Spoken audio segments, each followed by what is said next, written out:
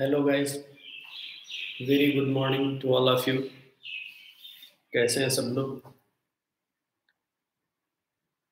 I am expecting your better health okay and today we will discuss some definitions regarding fundamental uh, you know physical quantity guys so let us start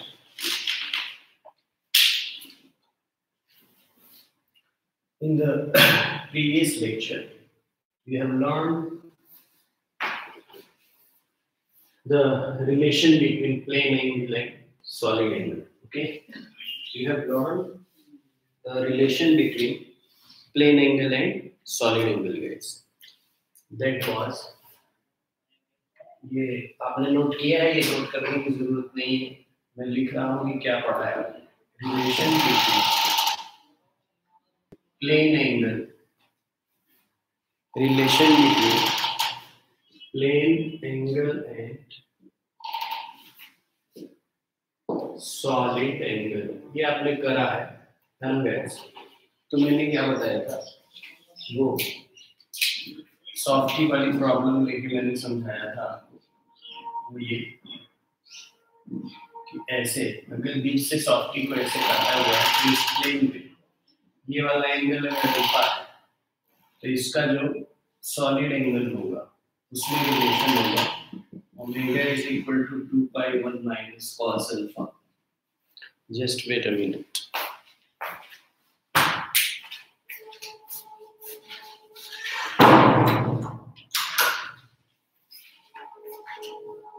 means ये relation क्या बोला मैंने? Omega is equal to 2 pi 1 minus cos alpha where alpha is the plane angle and omega is the solid angle its unit is stationary okay तो हम लोगों ने इस पे कुछ क्वेश्चंस भी कर लिए तो ये आपको लास्ट क्लास की थियरी थी है जो कि इम्पोर्टेंट थे आपको पता होना चाहिए आप नोट बना रहे हो उसमें बता अब बात आई थी कि मैंने कुछ बोला था कि कुछ डिफिनीशंस आप है ना, याद कर लो, है ना? कुछ मैंने कहा था, आप डेफिनेशंस को याद कर लेना। जैसे बात मीटर की चाहिए थी तो definition of definition of one metre one metre है ना?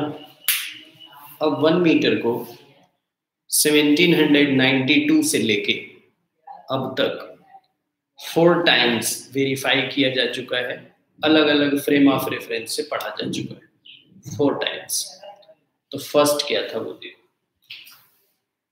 इन 1792 है ना? ये बुक में लिखा होगा।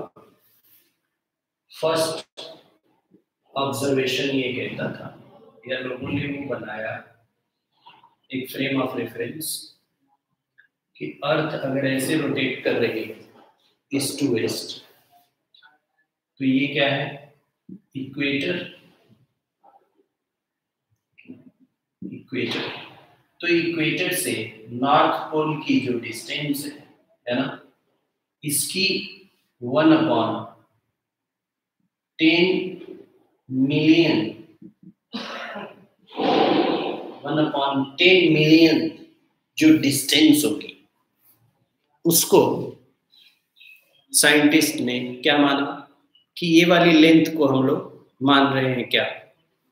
वन मीटर ये डिफाइन किया। शुरू में है ना? जैसे कि पहला सेमिनार हुआ साइंस का सेवेंटीन नाइनटी टू में मान लो। तो उस टाइम ये देखा गया कि ये स्टैंडर्डाइज किया गया कि वन अपॉन टेन मिलियन जो डिस्टेंस होगी, किसकी? नॉर्थ पोल से इक्वेटर से। ये क्या है? ये इक्वेटोरियल लाइन है है ना? तो इक्वेटर से जो डिस्टेंस होगी, अब ये ऐसे है सर्कुलर तो इसकी ये जो डिस्टेंसेस है, ये ऑनलाइन लेवल पे अगर रेगुलर मान ले, है ना? रेगुलर मान ले तो इक्वी डिस्टेंट मानी जाएँगी।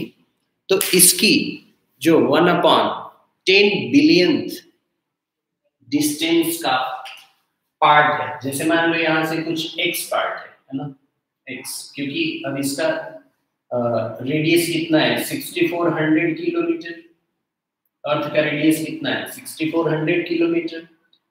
तो इसका हम ये सरकमफरेंस मान सकते हैं, ये डिस्टेंस हम कैलकुलेट कर सकते हैं।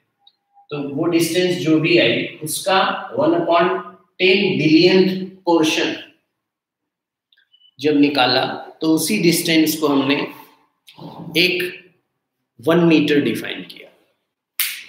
है? समझ में? तो ये तो अपना एक ओल्ड पैटर्न था, उसके बाद प्रैक्टिकल में ये सफिशियंट नहीं पाया गया। तो इसके बाद हम लोगों ने एक नया इसमें करेक्शन करने के बाद कुछ नया मेज़रमेंट तैयार किया। वो था एक ऐसे जो स्टैंडर्ड लैब है है ना? साइंस का जो रिसर्च होता है है ना? जेनेवा में, उसमें लैब में रखी हुई है। प्लेटिनम और प्लेटिनम एंड इरिडियम की एक रॉड है, जो कि इतनी लेंथ जो स्टैंडर्ड एक मीटर माना गया था, उतनी लेंथ की बना के रख दी गई है, क्योंकि ये एक स्पेशल टाइप का मेटल रहेगा। इसका टेम्परेचर पे कुछ मतलब ऑन एन एक फिक्स टेम्परेचर पे ऑन एन एवरेज इसकी डिस्टेंस हमने बोल दिया कि ये एक मीटर इसको मान रहे हैं, यही वाली। अब जो भी एक मीटर की डिस्टेंस कहीं भी कोई रिसर्च होगा, कहीं भी कोई मेज़रमेंट होगी तो इसी से मेजर किया जाएगा। तो जितनी कंट्रीज़ में लैब्स हैं उसमें सारा इसकी कॉपी रखवाई गई ठीक है? उसके बाद, इससे भी प्रिसीजन उतना एक्यूरेट नहीं आया तो थर्ड थर्ड टाइम 1900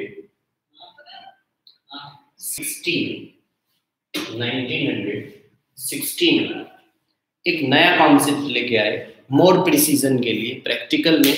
एकदम एक्यूरेट डिस्टेंस हो वो वन मीटर उसमें वेरिएशन ना हो, इसके लिए एक क्रिप्टॉन क्रिप्टॉन 86 है ना? एक स्पेशल आइसोटोप है।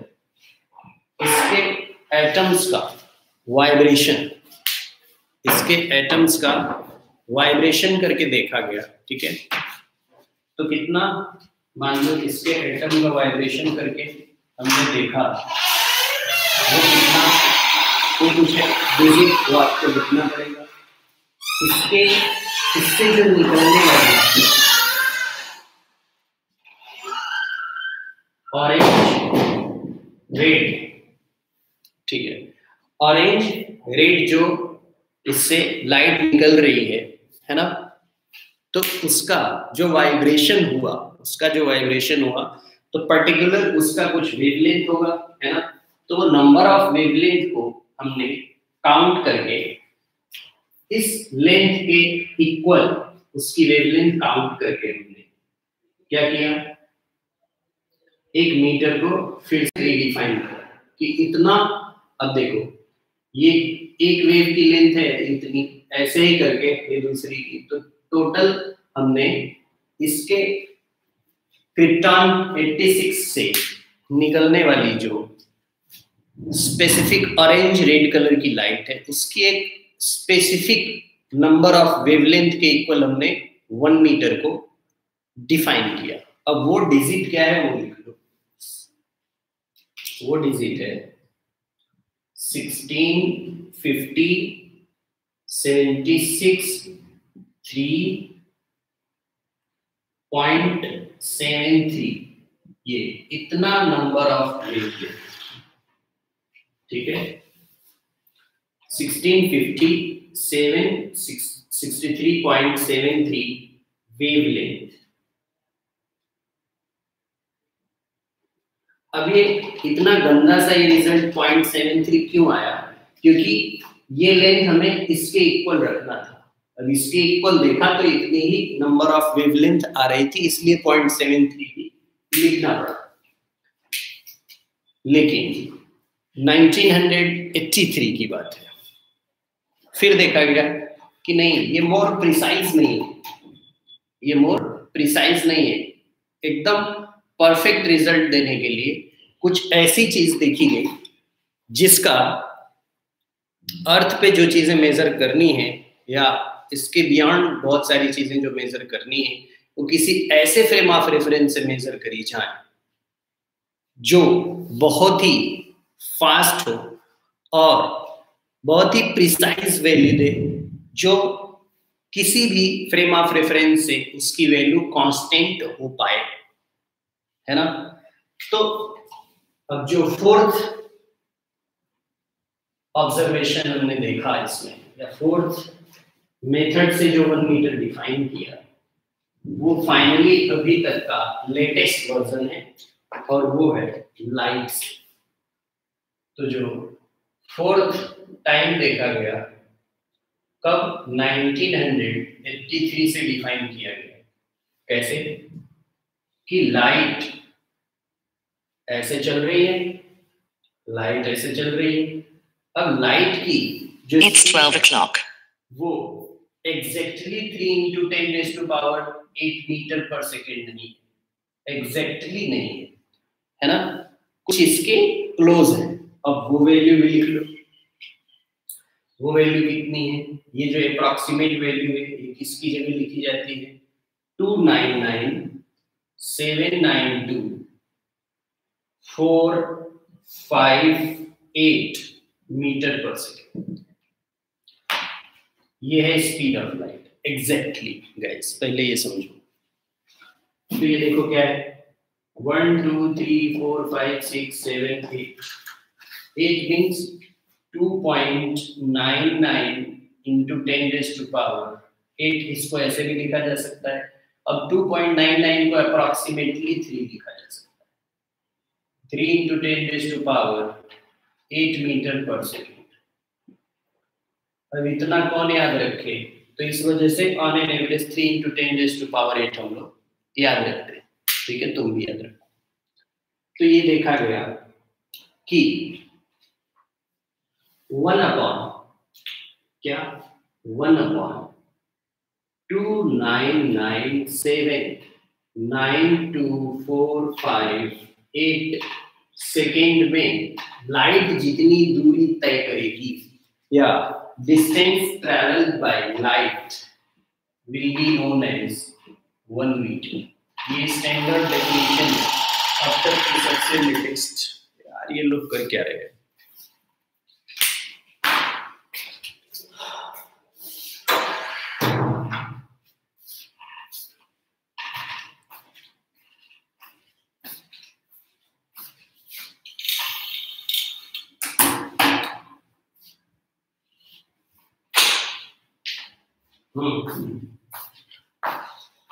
Sorry for interruption. So some uh, work is going on. Okay, building. So the guys, one upon two nine nine seven nine two four five second में लाइट जितनी दूरी तय करेगी या लाइट जितनी डिस्टेंस कवर करेगी उसको वन मीटर कहा जाएगा तो ये अब तक का लेटेस्ट कॉन्सेप्ट है वन मीटर को डिफाइन करने है ना? वन मीटर को डिफाइन करने का और तो इसकी आप डेफिनेशन लिख लो। कैसे? इसकी डेफिनेशन लिख लो। यही वाली डेफिनेशन करेक्ट रहेगी। ये डिजिट आप याद रखो। तो ये आप लिख सकते हो वन मीटर अगर डिफाइन करने को आए, ये समझने के लिए कहीं पूछा नहीं जा रहा। अगर आपके एकेडमिक्स लेवल पे पूछा गया तो ये ऐसे लिख लेना। वन मीटर नोट कर लो। One metre is the distance traveled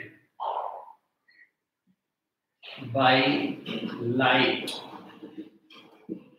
in vacuum.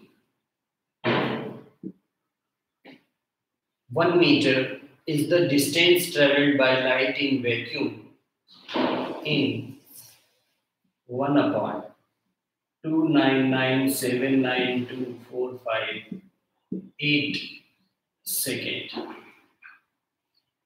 ये इसकी डेफिनेशन जो फोर्थ कैटेगरी की डेफिनेशन है that is the latest one तो इसकी डेफिनेशन फिर से चेंज हो सकती है अगर कोई ऐसा पार्टिकल मिल जाए या कोई ऐसी चीज़ मिले जो लाइट से भी तेज चले तो वो और ज़्यादा एक्यूरेट रिज़ल्ट देगी। मतलब कि वही स्टैंडर्ड वन मीटर होगा जो कि एग्जिस्टेंस में परफेक्ट वन मीटर को मेजर करेगा without any abrupt change in the length of one meter, okay guys? Are you getting the point? तो कुछ ये फाइनल नहीं है कि बस यही है फाइनल नहीं, ये उस चीज़ पे डिपेंड करेगा, जब तक अगर कोई हमें लाइट से तेज चलती हुई चीज़ ना मिल जाए, क्योंकि वो और ज़्यादा मतलब ज़्यादा प्रिसाइज रिज़ल्ट वो देगी, जो और इससे फास्ट होगी। जो जितनी फास्ट होगी, उतनी ही मीन्स कि उसमें वेरिएशन कम आएगा वन मीटर मेजर करने में। एक्यूरेसी ज़्यादा होगी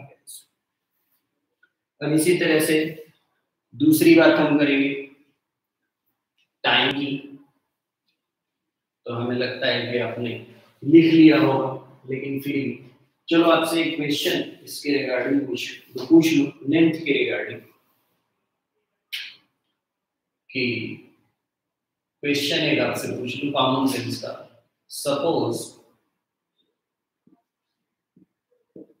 there is a string एक कोई धागा है, spring of unknown length unknown length suppose there is a string of unknown length then how you can measure its length.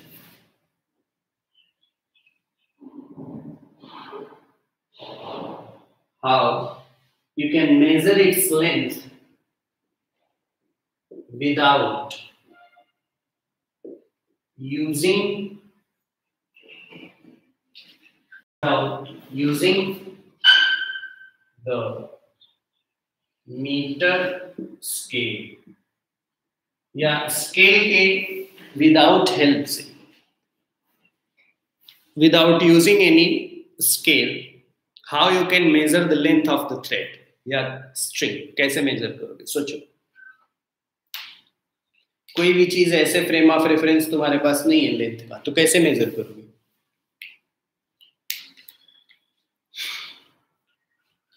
विदाउट स्केल भी हम मेजर कर सकते हैं।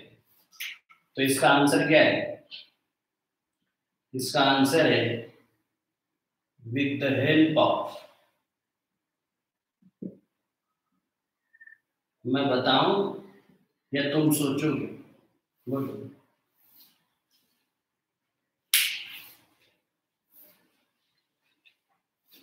हाँ बोलो। ऑप्शन दे दिया जाए।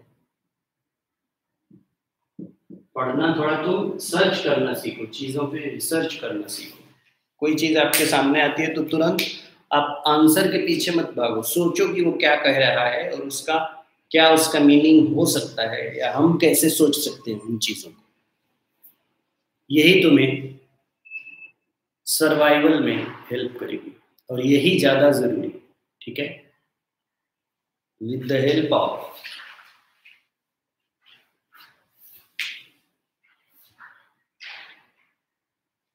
only with the help of metre scale मतलब इसके अलावा हम कर ही नहीं सकते। दूसरा with the help of sound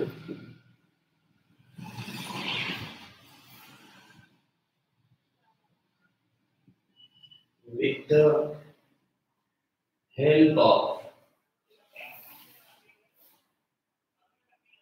with the help of rays,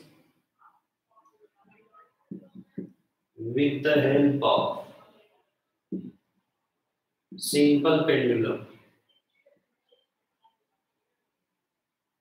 चलो, अब तुम सोचना है, तुम्हारा काम है, इसको एक्सप्लोर में कर दो। बता दूँगा तुम सोचो कि नहीं, बहुत आसान है। सोचना।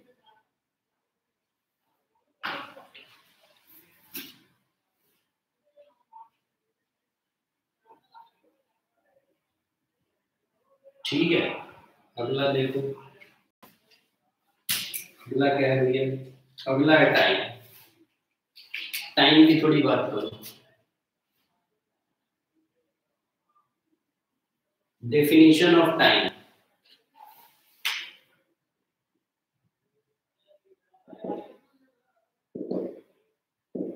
definition of time lines तो डेफिनेशन ऑफ़ टाइम में कुछ एक बात है, वो तुम नोट कर लो। लिखो। The second is the duration of the second is the duration of फिर इसमें एक डिजिट है, ये सब रटना नहीं है, एक बार सेंस डेवलप करने के लिए लिखा गया है। नाइन वन नाइन टू ठीक है। Six three one six three one seven seven zero. क्या? पीरियड्स नोट करो। The second is the duration of second is the duration of के बाद ये ये डिजिट लिखो। Nine one nine two six three one seven seven zero periods of the radiation of the radiation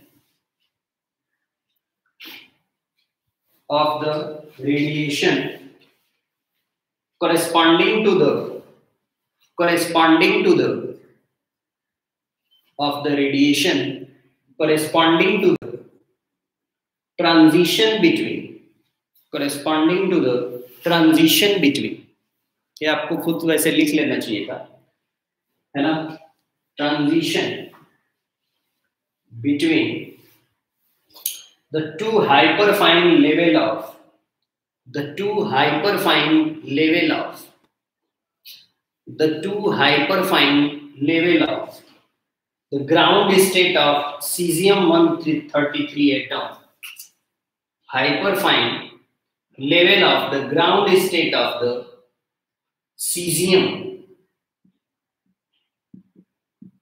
cesium कितना 133 atom ये है latest one है ना?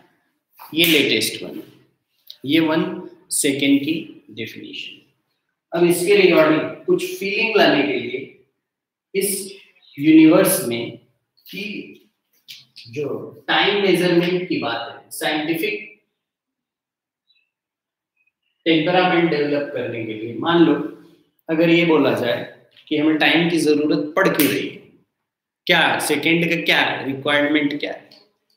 तो हम कोई भी चीज़ अगर ऑब्ज़र्व कर रहे हैं, है ना?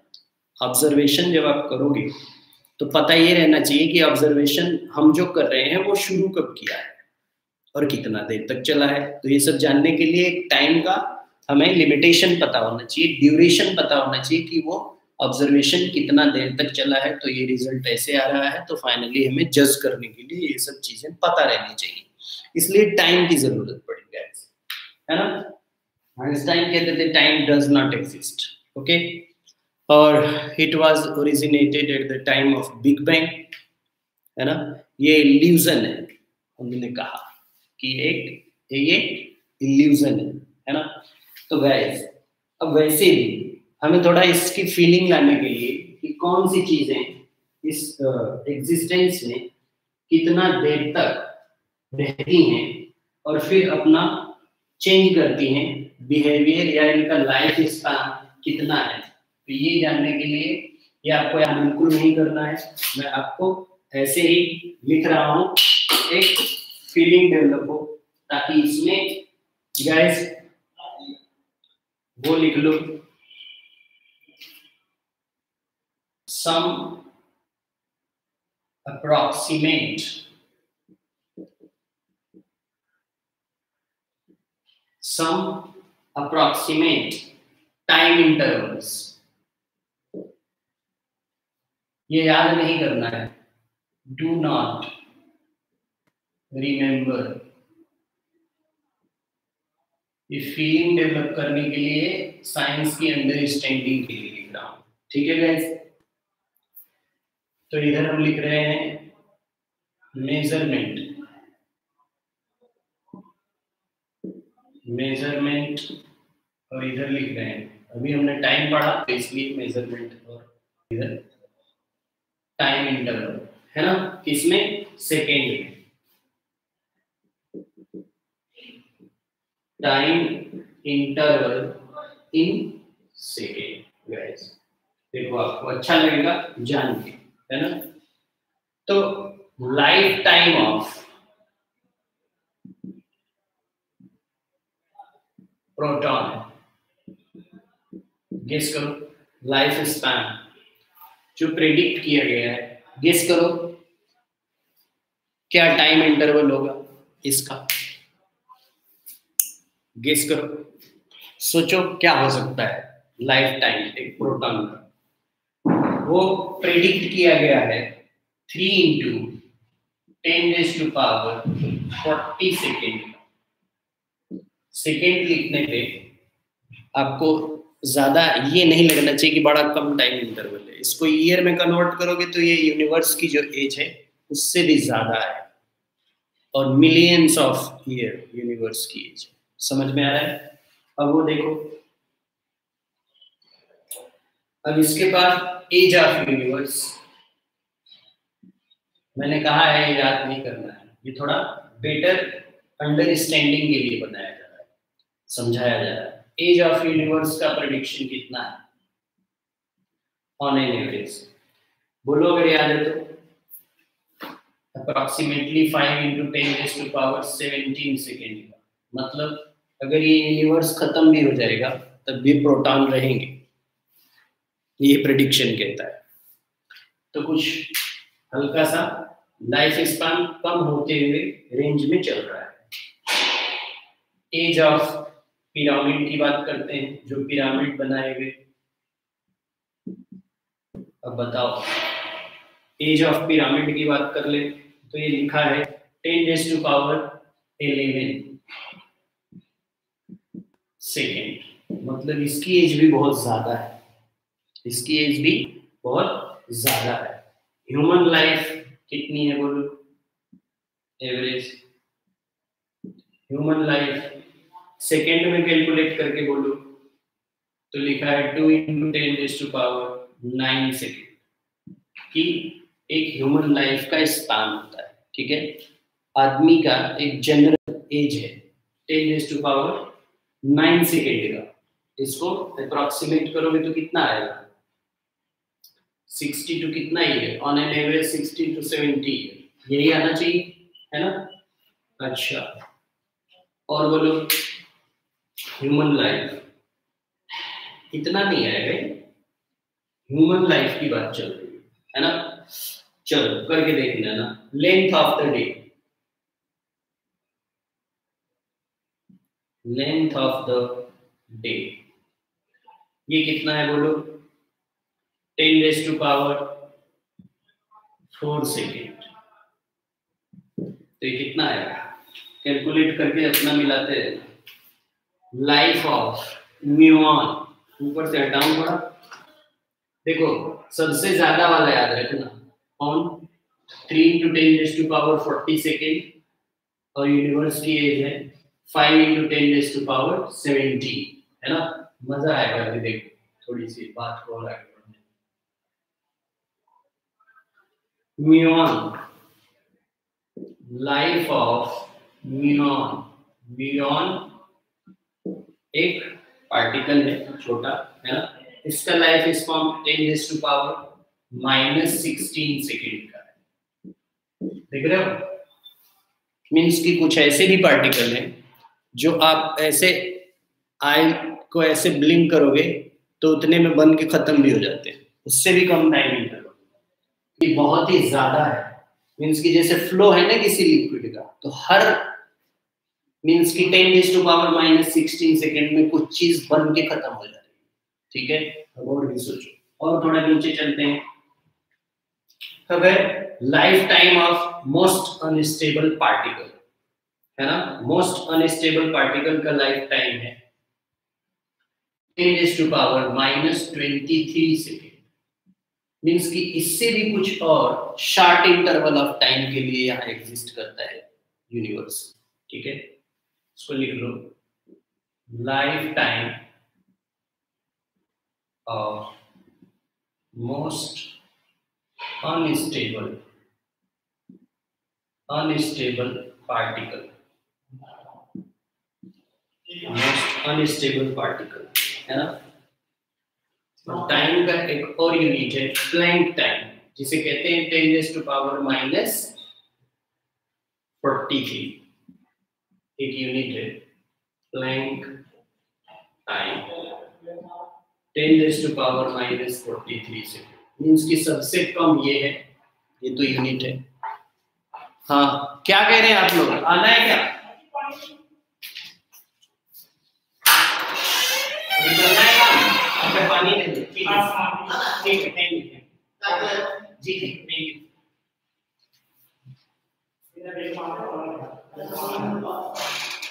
Uh,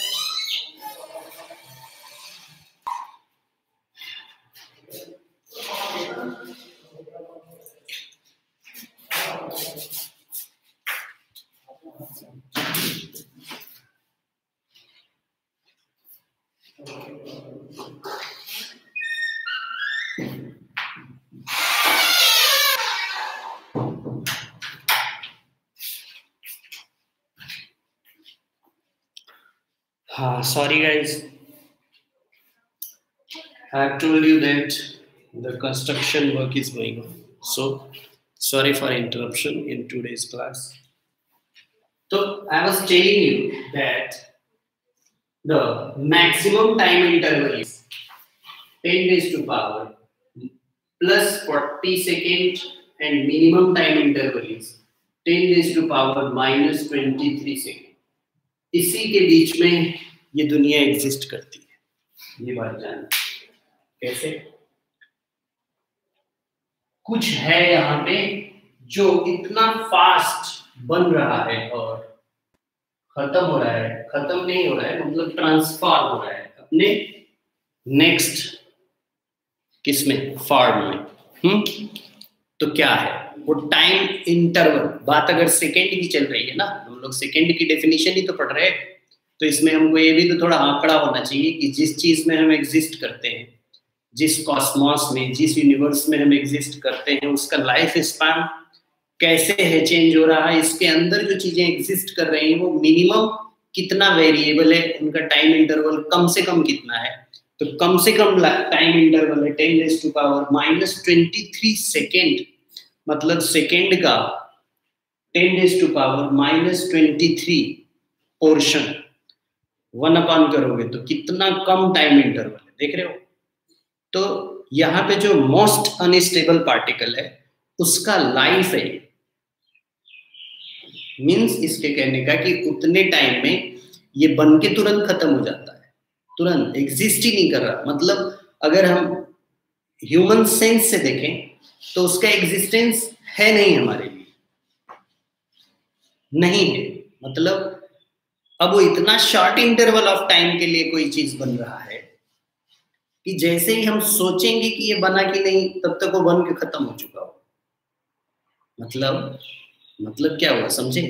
कि कोई चीज़ अगर तुम्हें लगता है कि नहीं है यहाँ पे कुछ भी, यहाँ पे कुछ भी है नहीं तो ये हमें गलत लग सकता है। ये इसलिए लिखा मैंने ये सारी डायमेंशन क्यों? क्योंकि ह्यूमन जो सेंसेस हैं, उनके बस की बात नहीं है कि वो चीज़ों को समझ पाए फाइव सेंसेस से। क्यों? क्योंकि वो टाइम इंटरवल इतना छोटा है कि विदाउट एक्सपेरिमेंट या विदाउट और भी किसी प्रिसाइज चीज़ के, हम उस पर क्लेम ही नहीं कर सकते कि उसका एग्जिस्टेंस है क्योंकि उसका लाइफ स्पान इतना शॉर्ट है कि जो चीज़ तुमको लग रहा है कि ये बिल्कुल भी यहाँ कुछ है नहीं तो वहाँ मिलियंस ऑफ़ थिंग्स एग्जिस्ट कर सकती हैं। और बन के खत्म भी हो सकती हैं तुम्हारे सोचने और समझने के पहले। ये साइंस प्रूव कर रही है। आया समझ? है कि नहीं? समझ आ रहा है? हाँ it will move your mind towards the enlightenment if you have that much goods ठीक है? तो आपको, मुझे लगा कि काफ़ी अच्छा लगा होगा। ये वाला नॉलेज अब इसके बाद हम लोग पढ़ रहे इसके बाद क्या है? मीटर डिफाइन कर दिया तुमने। टाइम डिफाइन कर दिया। है ना? अब आगे बारी है। मास डिफाइन कर दो। इसी टाइप से मास डिफाइन कर दो। तो मास डिफाइन कर लो। इसकी एसआई यूनिट क्या है? किलोग्राम इसकी एसआई यूनिट क्या है? किलोग्राम इसकी हिस्ट्री ना बताते हुए मैं एग्जैक्ट बता रहा हूँ। एग्जैक्ट बता दे रहा हूँ। वही बात अब डायरेक्ट ही लिख लेना, है ना? अच्छा। लिखो एक क्या है कि लैब में ऐसे एक मटेरियल है है ना? अब इसका डायमेंशन दिया हुआ ये भी प्लेटिनम और इरिडियम का बना हुआ सॉलिड सिलिंड्रिकल मटेरियल है। और इसकी जो लेंथ है, इसकी जो लेंथ है, वो 3.9 सेंटीमीटर की हाइट है। 3.9 सेंटीमीटर और यही इसका डायमीटर की भी साइज़ है। और ये टोटल क्या है? ये सॉलिड ऐसे तो ये इसको मेजर करके हमने वन किलोग्राम का स्टैंडर्ड सेट किया वन किलोग्राम का स्टैंडर्ड ठीक है गैस तो ये भी आप नोट कर सकते हो। आपने पहले से लिखा भी होगा तो मैं जल्दी से एक बार बोल देता हूँ। लिख लो जिनको लिखना है। Definition of 1 kilogram, a platinum iridium cylinder note down a platinum iridium cylinder,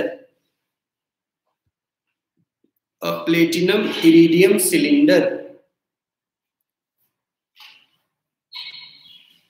which? Which? Height and diameter. Which? Height and diameter will be of 3.9 centimeter. 3.9 centimeter. Its height and diameter will be of order 3.9 centimeter considered as considered as standard considered as standard kilogram or 1 kilogram standard kilogram or 1 kilogram सही है तो ये भी हो गया mass means की one kilogram define हो गया गाइस है ना? अब इसके सीक्वेंस में भी थोड़ा देख लेते हैं। Approximate masses in the universe approximate masses in the cosmos. या यूनिवर्स ठीक है गाइस तो एन एवरेज ये भी रखना नहीं। Do not do not remember ये एक बार पढ़ लो और समझ लो, आँखों के सामने से गुजर जाएगा। बस इतने के लिए है, ताकि एक बार समझ थोड़ी आपकी ग्लोबल हो जाएगी, है ना? मास की दुनिया में क्या है? ऑब्जेक्ट सबसे इधर मैं लिखूँगा ऑब्जेक्ट और इधर क्या लिखूँगा? मास in kilogram. Mass in kilogram तो तुम्हें मज़ा आएगा, है ना? जैसे नॉन यूनिवर्स नॉन जितना यूनिवर्स जाना गया, वो कितने किलोग्राम का है? Ten raise to power fifty three kilogram बहुत ज़्यादा है, ठीक है? उसके बाद the mass of our galaxy मैं फिर से बोल रहा हूँ याद बिल्कुल नहीं करना है। ऐसे देख लो मज़ा आएगा two into ten raise to power forty one kilogram और बोलो सन की बात कर लो। सन की बात कर लो। मून की बात कर लो। है ना? इसी टाइप से आगे चलते चलते हम बात कर लेंगे। प्रोटॉन की फिर इलेक्ट्रॉन की है ना? गैस धीरे धीरे बहुत सारे बीच में और भी चीज़ें हैं लेकिन हम सम से बात को आगे बढ़ाते हैं और छोटे हैं है ना? तो सम का दिया हुआ है ten raise to power thirty kilogram का है ten raise to power thirty kilogram का है. मून है ten raise to power twenty two kilogram moon ये मैंने मास की बात करी है। किसकी बात कर रहा हूँ मैं? मास की। डिक्रीजिंग ऑर्डर में मास। आगे बढ़े। तो एक एलिफेंट का weight five into ten to power three kilogram का होता है। फिर उसके बाद हम आगे और बढ़ते हैं। तो proton. Proton two into ten to power minus twenty seven kilogram या इसको approximately 1.67 ten raise to power minus 27 kilogram कहते हैं, ये तो याद होना चाहिए। इलेक्ट्रॉन का 9.1 into ten raise to power minus 31 kilogram ये सबसे छोटी यूनिट मास की दुनिया की, और ये जितनी जानी गई सबसे बड़ी ten raise to power 53 kilogram ठीक है? ये मास डिफाइन हो गया मास की बेसिक यूनिट डिफाइन हो गई। अब बात को थोड़ा आगे बढ़ाएँगे। क्या बचा भाई? इलेक्ट्रिक करंट या वन एम्पियर की डेफिनेशन देखो definition of one ampere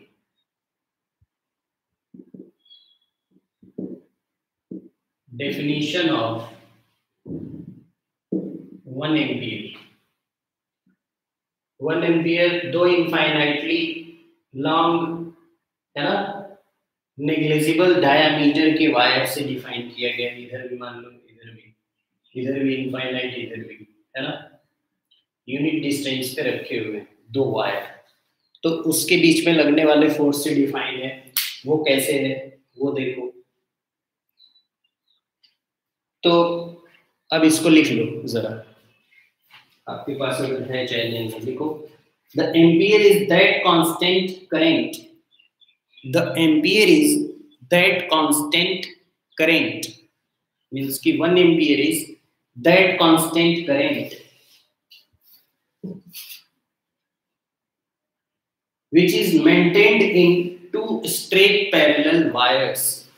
Which is maintained in two straight parallel wire. Which is maintained in two straight parallel wires. Which is maintained in two straight parallel wires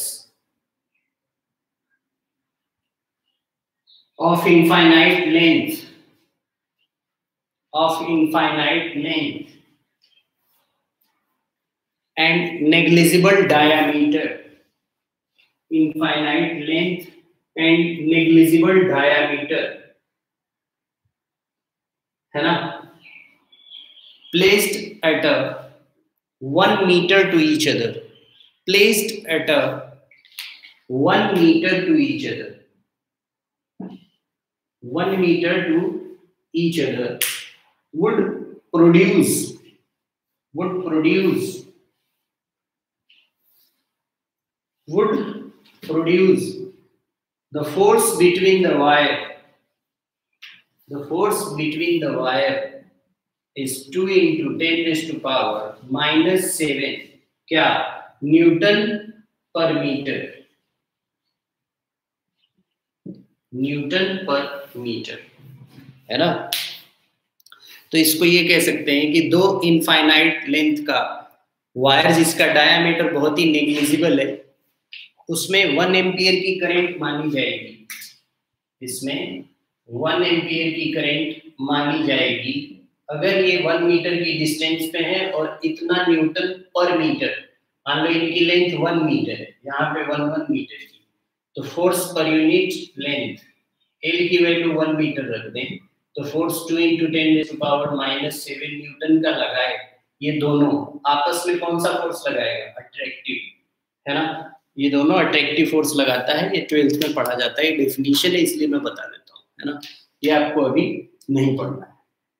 तो ये define होगी इसमें current one ampere की। फिर से मैं बता देता हूँ, दो इनफाइनाइट लेंथ का पतला वायर उसमें करंट की वैल्यू को वन एम्पियर तब बोला जाएगा, जब इसमें ये करंट बहे और इन दोनों के बीच की डिस्टेंस अगर वन मीटर हो और दोनों के बीच का जो फोर्स ऑफ़ अट्रैक्शन एक ही डायरेक्शन में जाती है तो अट्रैक्शन अलग अलग डायरेक्शन में जाती है तो रिपल्शन तो attraction force two into ten is to power minus seven newton का हो तो उसमें जो अमाउंट ऑफ़ करेंट होगी, उसको वन एम्पियर कहा जाएगा। ये सिंपल सी बात है, ये डिफाइन किया।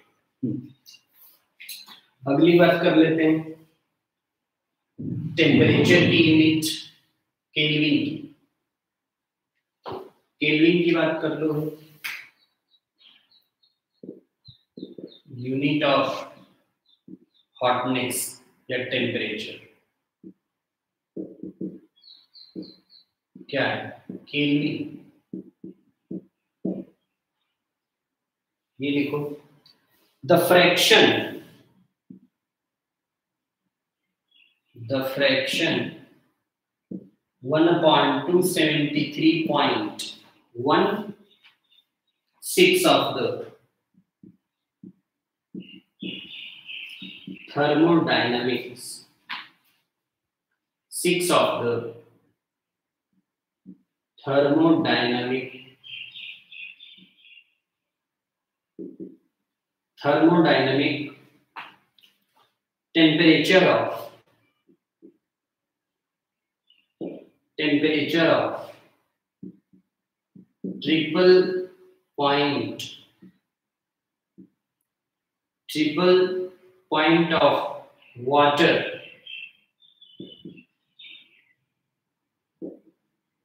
is called 1 kV. 1 kV. इसी तरीके से मोल भी डिफाइन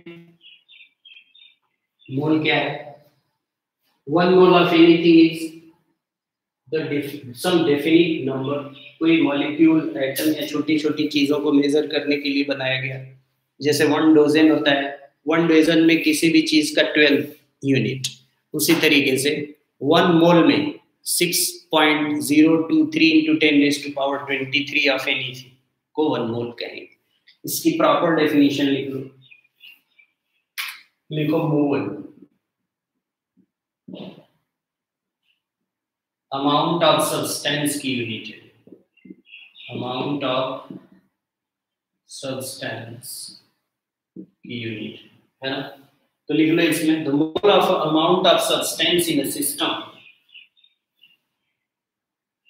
सुन के लिखो the mole is the amount of substance.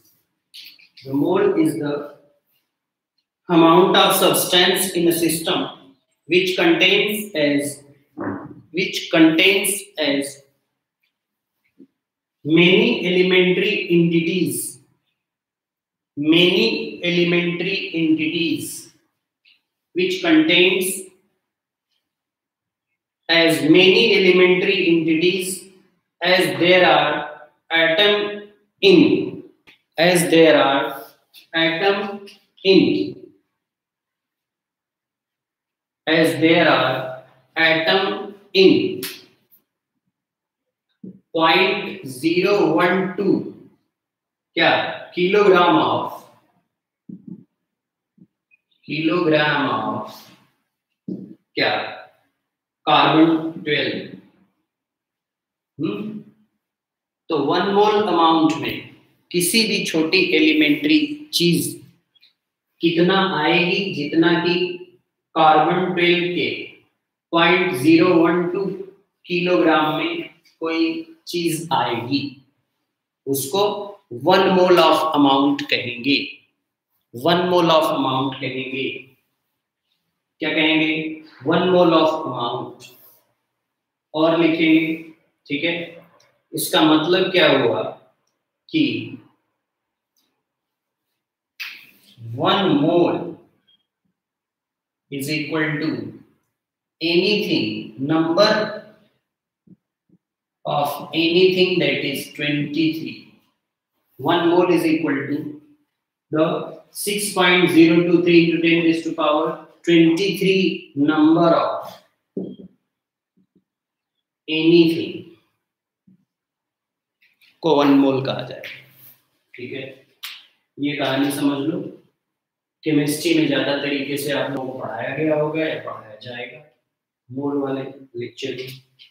अब इसी तरीके से क्या है? कैंडेला कैंडेला क्या है? ल्यूमिनस इंटेंसिटी की यूनिट ल्यूमिनस इंटेंसिटी की यूनिट है। कैंडेला वो लिखो। Candela is the unit of luminous intensity. Candela is the unit of luminous intensity in a given direction of in a given direction of source in a given direction of source that emits the monochromatic radiation of that emits the monochromatic radiation of that emits the monochromatic radiation of the frequency the frequency 540 into 10 raised to power 24 hertz देखो 540 into 10 raised to power 24 sorry 12 है भाई 12 है 12 12 hertz and that has a radiation intensity and that has a radiation intensity in that direction of that has the radiation intensity in that direction of of लिखो one upon six eighty three watt पर watt per steradian ये steradian समझे? मतलब चारों direction में जो power source emit करेगा, वो चारों सॉलिड एंगल से डिफाइन होगा। मान लो एक बल्ब है तो बल्ब के चारों ओर लाइट निकल रही है। किसी एक प्लेन में थोड़ी निकल रही है, चारों ओर निकल रही है। उसको ऐसे ढकना है तो किसी फुटबॉल के सरफेस से अंदर डाल के ढक सकते हैं। तो वो surface total solid angle centre पे एंगल बनाएगा।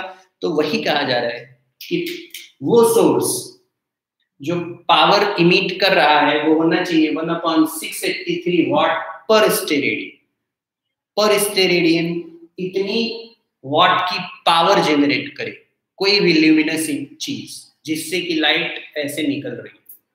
कुछ भी हो सकता है। तो ये क्या है डेफिनेशन ऑफ़ कैंडेला तो आज इतना ही रखेंगे। अब हम लोग अगली क्लास में पढ़ने वाले हैं। डायमेंशनल एनालिसिस के जो फार्मूले होंगे, उनके डायमेंशनल फार्मूलों को लिखना।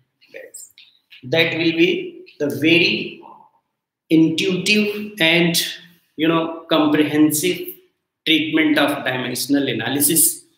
I think it will be very beneficial for your upcoming examinations अभी तक तो ये सब इंट्रोडक्शन चल रहा था, जो आपको फिजिक्स में इंटरेस्ट दे रहा है, ठीक है वहीं से हुँ? हम्म?